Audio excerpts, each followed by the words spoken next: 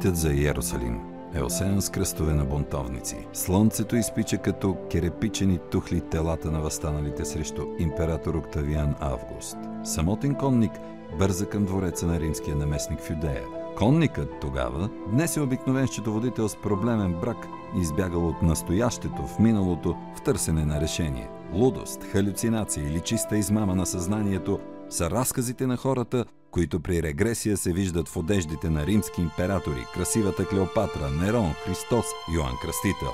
Защо стотици хора по света се виждат в миналото като един и същи император и възможно ли е програмираното съзнание на милиони по света да е от един и същи източник? Малко провокации за господин Нанев. Веднага ще отговоря. Това е абсурдно. Не може един и същи източник да даде отражение върху десетки хора в съвремието.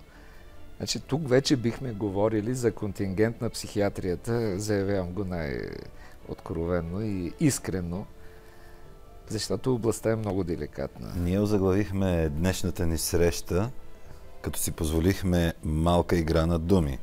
Регреси от древността, предпочитахте вие, а ние засилихме вношението с израза древни регресии. И с този обърнат словоред се опитваме да внушим и друго, че всъщност древността изгражда настоящето. Да. Макар, че посланието древни регресии има и втори прочет. Регресии, провеждани в древността. Което също е вношение, господин Нанев. Добре. А някога Защото древната, в Египет са правени. древната Пития от храма на Аполон, какво Както е правила? казва, Пак е надничала в съдбата и в нейните проекции. да. Такой ясновидец не го прави. И понеже говорим за древни регресии или регресии от древността, аз ще направя отново един аналог с риск да досъдя с любимата ми на мен Слава Сиврюкова, пред която дълбоко се покланям за нейните необичайни способности и дано да бъде тя правилно разбрана. И ще кажа това. Веднъж при нея идва големия йога Вентислав Евтимов. Той е бил в древния Картаген, историята той ми е предаде, и носи едно малко камъче от двореца в Картаген. Слава поставя ръката си върху камъчето и оживяват картини. Тя се връща в миналото. Тя вижда основателката на Картаген, митичната царица Дидона, и описва като много красива, силно въздействаща, впечатляваща жена с силата на своето, своето внушение върху хората и с красотата си. Пред нея се разкрива визията на Ханибал. И прави такива чудесни картинни описания, след което а, нейната информация е проверявана на тази жена с четвърто отделение. За това как е изглеждал действително Ханибал от скулпторите, които са съхранени до днес, пълно съвпадение. Брата на Ханибал, бащата на Ханибал, пълни съвпадения. За какво говори това? Но да се върнем към регресията като метод и подход за навлизане в античността и най-вече за някои изкрици от историята, които биха могли да бъдат възстановени поне частично. Ще започна с тази регресия на Савина, една жена с ясновидски способности. Тя беше медиум и контактьор. И най-интересното бе, че информацията и се предаваше от е, свети Йоанн Кръстител. Но да се върнем и към другите ясновидци. При Ванга информацията идва от е, свети Йоанн Златоуст. При е, Леля Слава от Мория и други, много други източници. Там богатството е огромно на източници на информация. Та, тя се интересуваше как така свети Йоанн и дава информация вярна за а, съдбините на хората, които я търсят. Видя се в регресия, сега се казва Савина, Саия. Това е названието и в Сирия, древна Сирия. Тогава при едно пътуване в сирийската пустиня семейството е нападнато от разбойници, родителите са убити, а децата са продадени в робство. Тя се видя като рубиня на един жесток господар, който издевателства над нея. 12-годишното момиче е насилено още първите дни и при най-малкото непослушание бой с къмшик и наказания. При своите а, при изпълнение на робските си задължения, а, веднъж на пазара, когато трябва да купи някои продукти, тя забелязва погледа на някакъв старец, който я вижда, че накуцва от побоищата на господари и я извиква и намазва с някакъв мехлем крака и който, а, който страда. И казва, другия път, ако те пратят на пазар, отново ела. Оказва се, че тук се създава една особена връзка с този старец, който е билкар и лечител и който я въвежда с месеци пазаруване, тъй като той продава на този пазар, я въвежда в тайната на билколечението и мехлемите. Веднъж господарят я проследява и стъписан вижда, че тя върши не само рубинските си задължения, а и контактува с някакъв дядо. Той е бесен, нашибва е жестоко с къмшик. Тя решава, ще бягам. И наистина, това е наказанието е смъртно, ако роб избяга в древността от господаря си. Тя възстановяваше картините от своето бягство. Нощем аз пътувам на изток, а денем се крия. И така стига до Юдея. Намира някаква пещера в Юдея и там се скрива. След време друг избягал роб попада на нея, тя имайки познание от е, дядото лечител, успява да излекува неговите рани. Славата й се понася в Юдея на една отшелница, която стои в пещерата, не взема пари от никого, лекува безплатно, но и дават храна, носят и дрехи. И най-впечатляващото бе нейното разкритие. Веднъж при мене идва един висок, опален от слънцето мъж.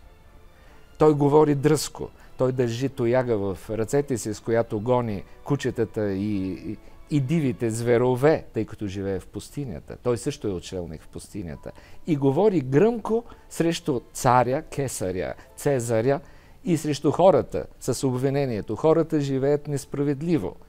Този свят трябва да се промени. Кесарят е несправедлив. Този живот трябва да се промени. Хората се боят от него. Но този скитник също в пустинята се оказва, както се разкри в регресия, свети Йоанн Кръстител. Сая в онова съществуване успява да изликува със своите билкови отвари и мазила изранените стъпала на окъсаните с, е, този е, пустинник с е, скъсани сандали. И тогава аз бях много впечатлен от тази регресия. Аз съм скептичен. С въпроси търсех идентичността и дали е автентично това, истинско ли е или е игра на нейното въображение. Но регресията продължи. Минава време. След месеци, след време, Йоанн Кръстител идва отново при мене. Как изглежда сега? Той е състарен, той е уморен, вече гласът му не е така е, гръмко звучащ, не е така обвинителен. Зъбите му са оредели, косата му леко е започнала да се прошарва – и на въпросът каква е промяната с теб, той казва, аз проправих пътя. След мен да дойде Месията. Как проправи пътя? Какъв път? Хората са грешни. Аз ги прочистих чрез вода, а след мен ще дойде Месията, който да ги прочисти и извиси чрез Слово. Тук вече аз изтръпнах в тази регресия. Въпросът бе. Искаш да кажеш, че е идвал Христос? Да. Как изглежда? И той като Йоанн е висок, но той е красив. Косата на Йоанн е сплъстена, той е мръсен, той в слюнки излизат от устата му през тези разредени зъби, когато говори. Исус е, Исус е красив, гласът му е с влажен тембър. Когато той говори, хората сякаш залепят за него. Как е облечен? Облечен е с е, римска дреха, тук така минава, дрехата е бяла, но има вплетени в нея някакви а, нишки, които създават усещане за блясък. Дрехата му леко блести. Така. ти се срещна с Исус. От тук нататък той ще продължи делото. Моя живот завършва. Отива си този пустинен скитник Йоанн предтеча. А ти какво научаваш след време за Йоанн? Да, научавам, че са го екзекутирали, научавам, че Исус също е разпънат на кръста. Край на регресията. Едни отломки от някакво минало, които оживяват в онова състояние на събудено съзнание. Аз не случайно говорих, че и в предходни, предходни предавания, че състояние на регресивен транс човек може да събуди скритите способности на душата си да добие дори в определен смисъл, ако той е готов за това. Послания за миналото, както ясновидците го правят. Определени хора, не всички. Това са единици. Изключително впечатляваща бе друга регресия. Аз съм, съм ги публикувал тези неща в книгите си, но, но трябва да се знаят. Трябва да се знаят, защото... А, но нека да продължа нататък. Това бе една регресия от времето на цар Калуян. Милена се вижда в царския двор в Търново. Причината не е за какво правиш ти в царския двор? Причината за регресията бе болка в гърба и кръста.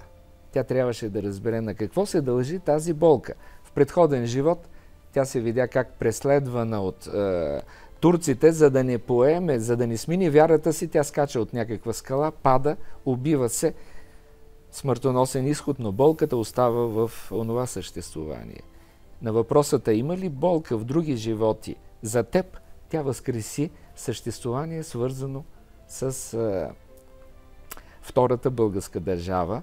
Тя казва и вижда това. Аз съм близка на а, Асениевия род. Баща ми е Богота. Аз не съм пряко от Асеневци. Аз идвам отстрани, по майчина линия. Но, добре, ти си там, в болярското обкръжение. Как изглеждат Асен, Петър, Калуян? Описанието Б. Асен е висок с оловно-сиви очи и силно въздействащ поглед. Той е дързък, той е остър, той е рязък и той е същевременно магнетичен и привлекателен за хората. А Петър, Петър е смирен. Той е кротък. Цар, Пет, е, цар Петър първи, да. Той е кротък. Той, тя употреби израза, той сякаше като свети Петър, толкова е хрисим и кротък. Добре, а Калуян? О, Калуян е най-могъщия от тях. А как изглежда? Калуян е най-високия. Той е изполин. Действително, наскоро, когато бе открит скелета, който се счита, че е на Калоян от църквата Свети 40 мъченици, се потвърди около 1,90 см мъж, който е изполин за она епоха, когато мъжете са били към 1,50-60, както се счита за средновековието. А как се държи Калоян?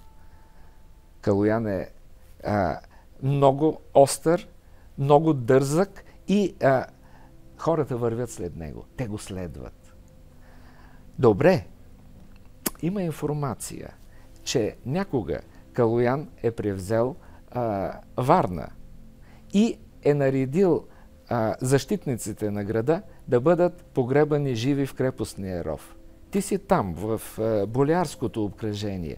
Чувала ли си за нещо такова? Отговорът бе, не, това е румейска измислица. При нас се говориха тези неща. Калоян не беше такъв.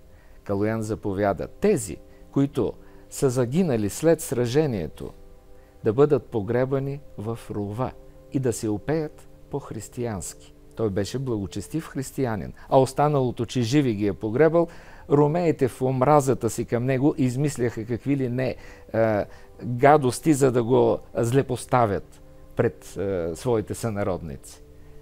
И много интересно за е, превземането на Пловдив – как бе превзет Пловдив? Историята за сега мълчи. Отговорът бе, това, което научаваме като близки от обкръжението на Асениевия род, е, че Пловдив е превзет през таен проход от към река Марица. Аз бях много заинтригуван какъв е този таен проход. И след време се срещах с археолози. Оказва се действително, че някога Марица е минавала близо до Трихълмието. И там и сега стоят изсечени в скалите от северната страна на Трихълмието, на този хълм, Таксим Тепе, ако не бъркам, стъпалата на прохода. Този таен проход някога е бил обграден с вод. Отгоре е имало пръст, имало е растения, имало е треви, имало е храсти, за да бъде маскиран. Според тези изкрици, блеснали в регресията и даващи някаква информация от историята, превземането на Пловдив се извършва оттам. Това е по-своему впечатляващо. Историята все още мълчи. Разбира се, тази информация можем да я погледнем като фриволна игра на въображението. Но ние не знаем как ще продължи светът за в бъдеще. Дали регресията няма да намери своето достойно място като бъдещ познавателен метод на едно по-освободено човечество с една нова научна парадигма. Тогава, когато светът е тръгнал по един духовен, е, едно по-духовно развитие. Много добра посока ми дадахте. В паузата ще помисля и след нея ще ви задам един въпрос. Лудост, халюцинация или чиста измама на съзнанието са разказите на хората, които при регресия се виждат в одеждите на римски императори, красивата Клеопатра, Нерон, Христос, Йоанн Кръстител. Защо стотици хора се виждат в миналото като един и същи император? И възможно ли е програмираното съзнание на милиони по света да е от един и същи източник? Така, сменям в движение въпроса. Господин Нанев, какво е отношението на Калоян към богомилите? Така. Благодаря за този въпрос, защото тук има и един контравъпрос, който се знае Борил как се отнася към богомилите и това е исторически съхранено. Е, нали, затова тегнете гобата над държавата точно. ни толкова векове вече. Да, в регресия се оказа, че Калоян е бил изключително толерантен към богомилите. И действително няма факти, които да показват, че той е преследвал богомилите. Напротив, в регресивен транс се каза Калуян казва, те са част от моя народ. Моя народ е свободен. Освобождаването от византийско владичество. И те ще бъдат свободни. Аз ще им дам всички права. В свободна България няма разлика между религиите. Свобода. И действително в регресия се оказва, че ако се приеме тази информация, че богомилите са били толкова предани на Калуян, че е бил благоразположен към тях, че някои от тях са били чудесни войни в е, армията на Калуян. А самия Калуян бил ли е воин? Бил ли се? Сражавал да, ли се? Да, да. Пак казвам, ако приемем регресивната информация, е, Калуян участва в сраженията. А на въпроса, а има ли рани по себе си? Отговорът бе, доколкото знам, има рана от секира на главата си. Има следи е, от стрела и на рамото и на едното коляно. След време, когато се разкри образа на Калуян, се оказа действително, че на скелета на Калуян тук има следи от някаква рана. Учените допускат или буздоган, или меч, или някакъв остър предмет. Калуян е воювал в сраженията и така е вдъхновявал е, своите бойци Борил. Племенника на Калуян. Да, в регресия се даде и това. Борил, който прилича външно до някъде на Калуян, защото и на Асеневци, защото е висок, но отговорът за това как изглежда Борил, той подражава на братята, на своите а, вуйчовци, Асен Петър и Калуян. По какво подражава? Той се реши като тях, той се опитва да направи брадата си като тях но той е грозен, той е лукав, той е необичан. Той не е откровен с хората, той не отива в сражението, той стои в двореца, не го обичат.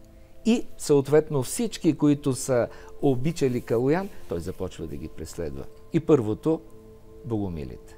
Знаем за тези актове на преследването на богомилите. Действително, можем да се усъмним във всичко това – но нека да останат тези следи. След време, както видяхме с скелета на Калоян, който се разкри, част от тези неща се доказаха следата от е, раната на Калоян. Друга регресия, свързана с миналото. Регресията бе на един компютърен специалист, който се интересуваше, тук също аналог, защо а, чувства болки в а, гърба. Провежда се регресията и той се вижда как, тук вече е живот в Древен Рим, как той а, е черак в някакво ателие в Древния Рим. След време става майстор, има свое скулптурно ателие. Много боли гърба от тези камъни, които е носил, които е пренасил и ги е обработвал. А какъв скулптор си? Аз правя копия на древни статуи. И тъй като ме боли кръста, след време аз си наймам четири работници. Минава време. Аз се замогвам. Имам вече вила в Рим. Как изглежда вилата ти? Тя е красива. С водоскок, с колонада. Работниците ми са 20. Добре, коя е тази епоха? Не мога да кажа. Погледни една монета. Една съвременна монета. Виж кой е изобразен и какъв е надписът. Ти си грамотен, можеш да четеш, нали? Да, мога да чета. Какво пише? И той почва. Не, не, не, ро. Действително, Нерон се... Истинството му име е Неро. Нерон. Незнайно, поне за мен е незнайно как се явява по-нататък. А ти виждал ли си Нерон? Да, само веднъж. Как го видя? Веднъж аз имах поръчка в двореца на една статуя. Аз трябваше да отида там и видях императора. Как изглежда? Той не е лош човек. А как изглежда? Той е леко пълен, с а, така а, тъмно-сиви очи и някаква артистична брадичка – Добре, как се развива този твой живот по времето на Нерон? Спокойно ли е? Да, спокойно е. Минават години, продължи напред. Страшно е. Какво е страшно? Размирици, междуособици. В моето ателие нахлуват някаква банда войници. Това бе израза банда войници и потрошават всички статуи. Защо? Аз правех статуи на Нерон. Всичко се съсипа, животът ми завърши, няма смисъл от това съществуване. Болката в гърба и кръста се засили от непризнаването на Твореца. Едно изкуство, което е погребано. Можем да приемем тези неща, но аз ще кажа и това. Регресията се явява в случая свързана с древността като страничен компонент. Това не е самоцелно търсене. Решаване на даден проблем и изведнъж хората се оказват в определена историческа ситуация и много добре я защитават, подплатена с а, някои специфични характеристики на епохата. Това вече би ни накарало да се замислим доколко надежден или безнадежден метод е регресията. Степента на достоверност на тези регресии от античността, как се доказва, освен с монети, както казахте преди малко. Как разбираме коя година е? Значи има най-различни похвати в случая. Примерно, трябва да видиш лицето си. Няма как да го видиш. Ти си там в онова съществуване. Застани пред, ако има огледала, ако епохата вече е дала на човечеството това изобретение, погледни се в огледалото. Не, огледало няма. Добре, имате ли кладенец? Има ли вода? Да, има кладенец извади вода от... Ти вадиш ли вода от, с ведро от кладенеца? Вадя. Нека си отаи водата. Погледни отражението на лицето си. Ето е, начин по който се, е, би могла да се извлече визия за външния вид на самия човек, който възстановява своята регресия, своето минало. Аз бих казал и това. Много е лесно да се осъжда. Това е най-лесното. А ние българите сме царе по-трудно е да се обсъжда. А тук на този етап все още няма база за сравнение. И напълно я разбирам с тези скептични въпроси. Аз самия съм много скептичен. Аз самия отсявам, пресявам никакви самоцелни регресии. Не е за нищо на света. Само ако може да се помогне. Между другото, след тази регресия на компютърния специалист, болките в гърба му изчезнаха. Е, това е достатъчно. Господин Нанев, древни регреси, регреси от древността. Благодаря ви за участието. И аз благодаря.